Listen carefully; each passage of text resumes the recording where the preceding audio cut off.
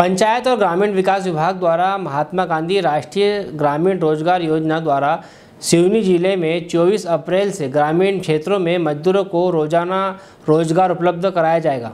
Collector Shri Praveen Singh के निर्देश अनुसार ग्राम में ही रोज़गार उपलब्ध कराया जा रहा है। जनपद पंचायत छपारा के अंतर्गत आने वाली ग्राम पंचायत रामगढ़ में मनरेगा काम कराया जा रहा है।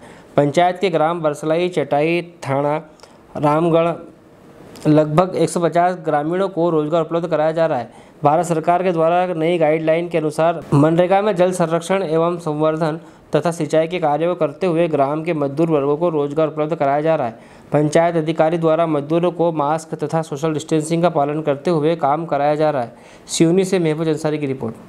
मैं ग्राम पंचायत रामगढ़ अंतर्गत छपारा जनपद से शासन योजना द्वारा महात्मा गांधी नरेगा योजना अंतर्गत सक्रिय मजदूरों के अंतर्गत काम कराया जा रहा है, जिसमें मास्क द्वारा और सोशल डिस्टेंस के अंतर्गत मजदूर काम कर रहे हैं, जिसमें हमने उसमें पानी व्यवस्था, साबुन और सैनिटाइजर का उपयोग किया गया है।